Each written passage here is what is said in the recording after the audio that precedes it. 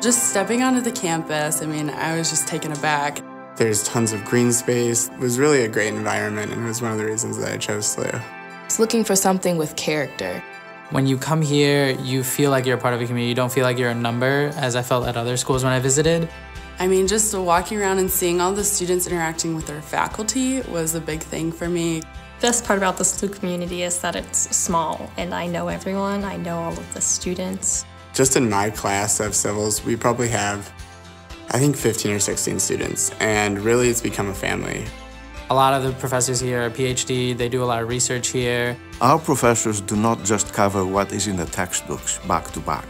They bring in, into the classroom information from their personal research and from their own experience. Every engineering or science course that I've taken here has had a lab component, and that's been critically useful for my education. One of my professors, we, he has given us a project with K'NEX, so we get to study the model of the structure. You want the student to touch the equipment, to do the experiment, to write the report about what they did, not what they have been told. So you actually get down and dirty in civil engineering, which is very cool. SLU has made me a good engineer because it's been a challenging curriculum. Um, it has taught me to think critically. If you want to be a civil engineer, come to SLU.